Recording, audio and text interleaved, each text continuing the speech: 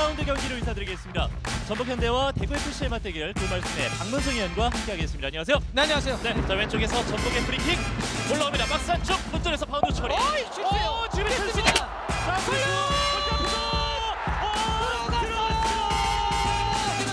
것 같아요.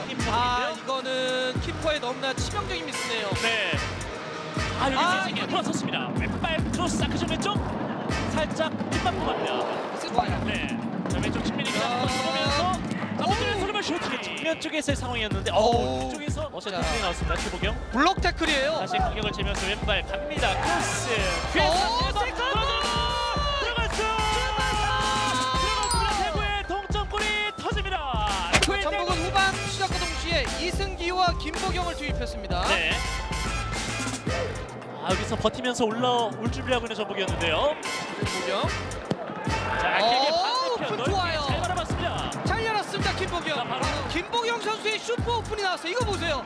기가 막힌 오픈이 한 번 나왔고요. 완벽히. 아, 근데 정말 김보경 선수의 이 오픈은 정말 이 대지를 가르는 저런 오픈 패스 기가 막히네요. 네. 주고 들어갈 때 김보경.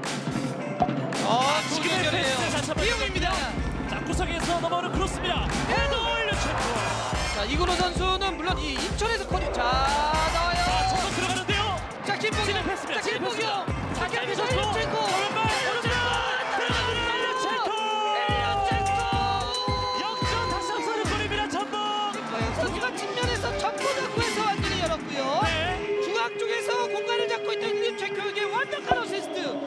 일루첸코도 이렇게 되면 연속골입니다. 그렇습니다. 리그 2호 골.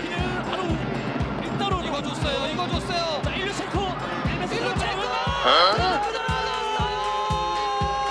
김보경과 일루첸코 라인이에요. 네. 자, 또 한 번의 합작품이 나오면서 오늘 시즌 2호 그리고 3호 완성을 시킵니다. 일류첸코입니다. 자, 일루첸코. 아니 골을 이렇게 쉽게 넣습니까? 네.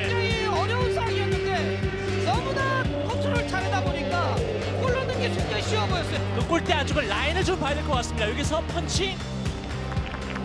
들어. 아, 들어갔네요. 들어갔네요. 네. 경기 종료입니다. 하나원큐 K리그1 2021 5라운드 맞대결 전북과 대구의 경기였습니다. 최전 스코어 3대 2로 홈팀 전북현대가 3연승 무패 행진 그대로 이어갑니다. 자, 전북이 오늘 전반전에 빠른 시간 안에 선제골 넣긴 했지만 네. 후반전에 보여줬던 역시 용병술